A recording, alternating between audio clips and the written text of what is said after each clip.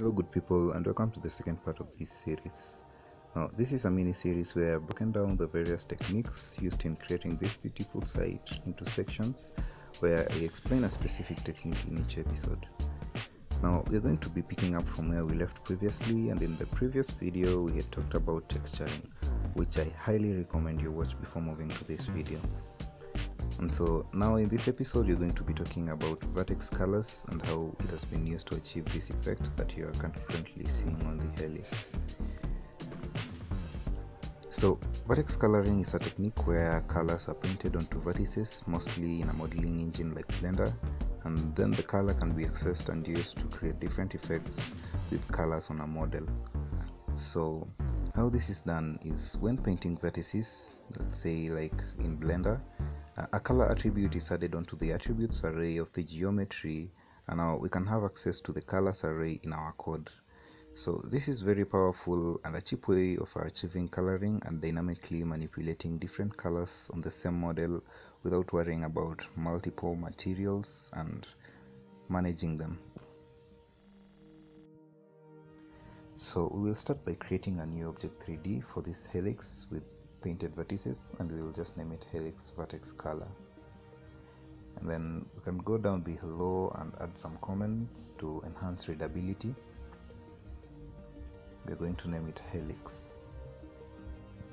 And then we can duplicate the helix loading and paste it below.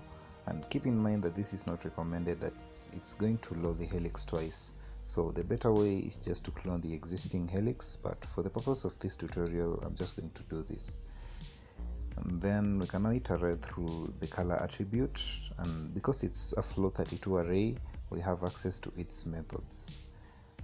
And so we are going to access its property called count and we are just going to measure the eye against the count.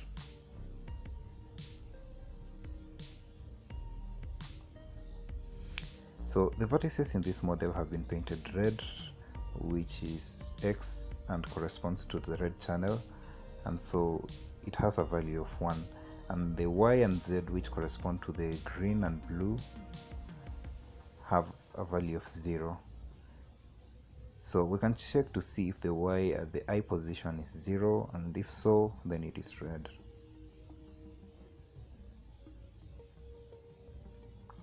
And we can confirm that by just console logging to see if it is red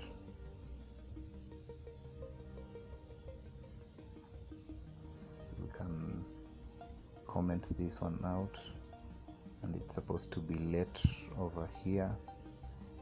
Yeah and now if you have a look you'll see that we have around 500 which are red 500 vertices which are red. So going back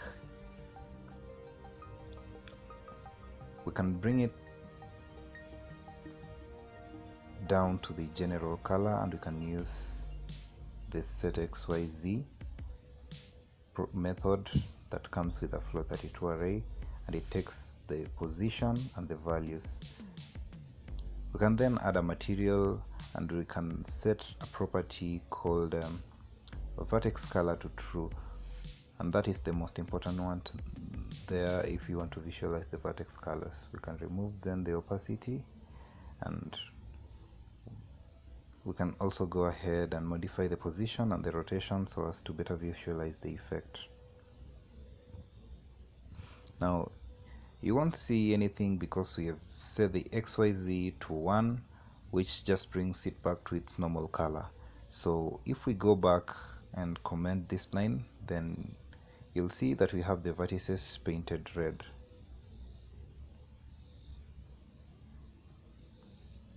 Now to achieve the effect that you're going for we can just bump up the values to something that is higher than 1 so for instance if I use 5 you'll see that now we have achieved what you're looking for. And you can use any values that you want and yeah that's how you do vertex painting in three.js so that's it for this tutorial. I believe we have one or two more videos before we can complete this tutorial and i hope you're looking forward to that so if you like this tutorial you can go ahead and subscribe You can also go ahead and support me by getting the source code over on Patreon. If you want more news on what I'm working on, you can follow me on Twitter and you can also subscribe at applied3js.com. Also, you can um, go ahead and hit that like button. My name is Gideon Shujaa, and as always, keep grinding.